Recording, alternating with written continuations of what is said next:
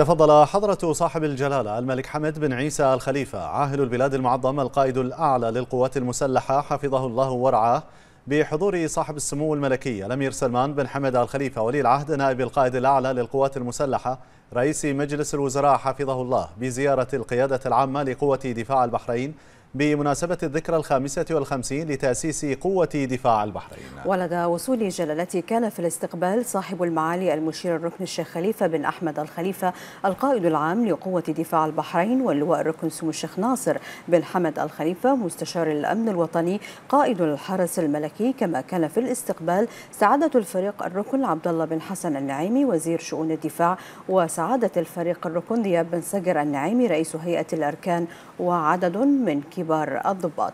في مستهل الزيارة عزفت الفرقة الموسيقية السلام الملكي تحية لجلالته رعاه الله.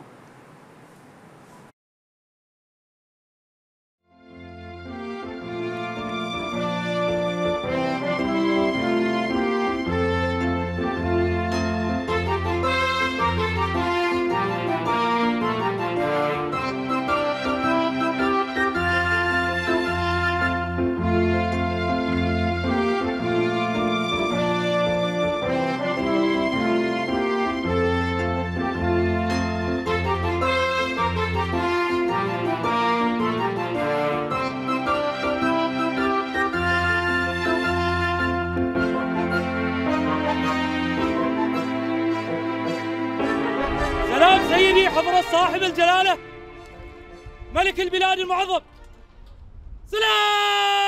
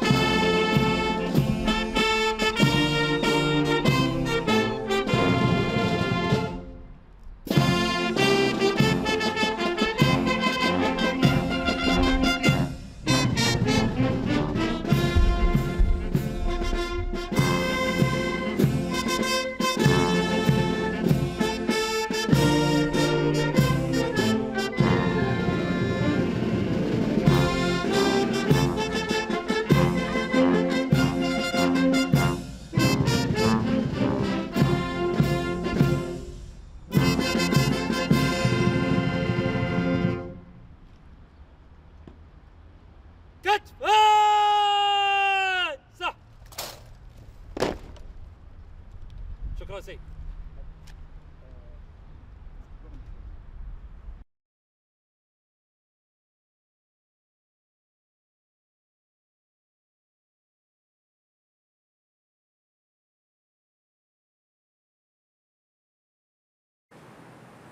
وخلال لقاء جلالته أيده الله بكبار الضباط رفع الجميع إلى جلالته أسمايات التهاني والتبريكات بهذه المناسبة الوطنية المجيدة مشيدين بالدعم والمساندة المتواصلة التي تحظى بها قوة دفاع البحرين لدن جلالة الملك المعظم أيده الله سائلين البارع عز وجل أن يحفظ جلالته ويرعاه لمواصلة هذه المسيرة الظافرة التي تشهدها مملكة البحرين في عهد جلالة الزاهر.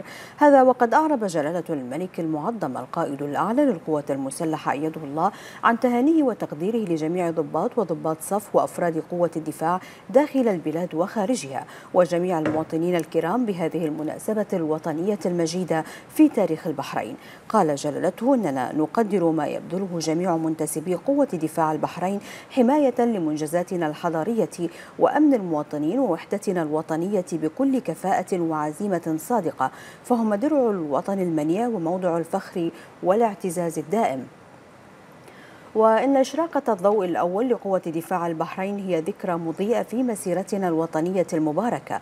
أضاف جلالته أن ما حققته قوة دفاع البحرين من إنجازات وعمل مميز وسمعة طيبة أكسبها ثقة المواطنين الكرام وأشقائهم في الخليج العربي والدول الصديقة. ونحن نسعى دائما للسلام وأن البحرين رائدة في المنطقة في كل المجالات ونحرص معا على حمل الأمانة لأجيالنا القادمة.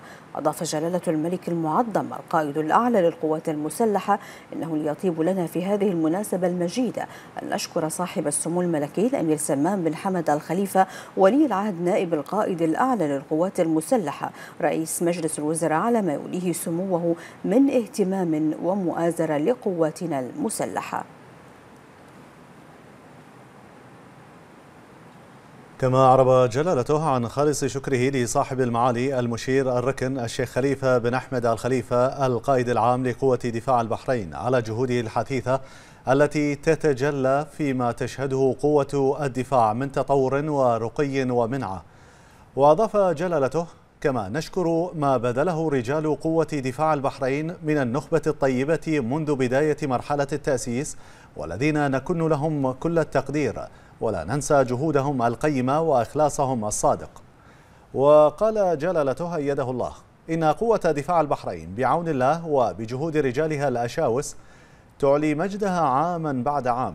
فإلى جانب نهوضها بواجبها السامي الجليل بالذود عن الوطن وأمنه وسيادته بكل بسالة فإننا نشهد في الوقت ذاته إسهاماتها المهمة والكبيرة في دعم مسيرته التنموية والحضارية الشاملة بكل جدارة وكفاءة من خلال العديد من المجالات.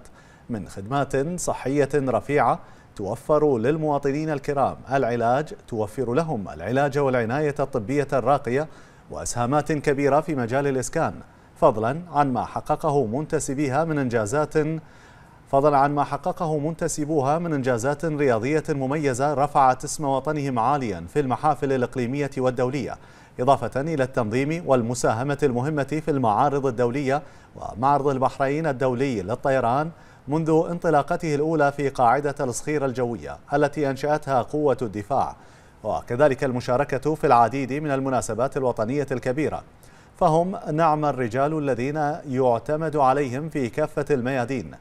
وها هي قوة دفاع البحرين يعلو صرحها الشامخ عاما بعد عام قوة ومنعة.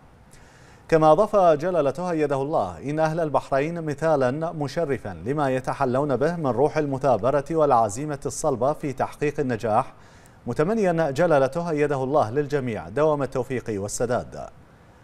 وبهذه المناسبة الوطنية المجيدة تشرف صاحب السمو الملكي ولي العهد نائب القائد الأعلى للقوات المسلحة رئيس مجلس الوزراء بتقديم هدية إلى حضرة صاحب الجلالة الملك المعظم القائد الأعلى للقوات المسلحة. كما قدم صاحب المعالي القائد العام لقوة دفاع البحرين هدية إلى صاحب السمو الملكي ولي العهد نائب القائد الأعلى للقوات المسلحة رئيس مجلس الوزراء.